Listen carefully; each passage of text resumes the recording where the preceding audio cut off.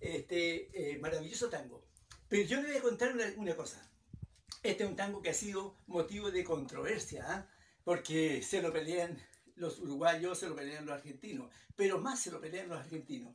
Pero yo le voy a contar algunos datos puntuales, ¿ah? algunos datos puntuales que, que, que dicen la verdad. Dicen, la comparsita se compuso puntualmente en el año 1915, en el Café La Giralda de Montevideo, ¿ya? en la partitura y, en el compás del 2x4. ¿ya? El uruguayo Gerardo Matos Rodríguez fue el compositor. Arreglos musicales Roberto Filpo.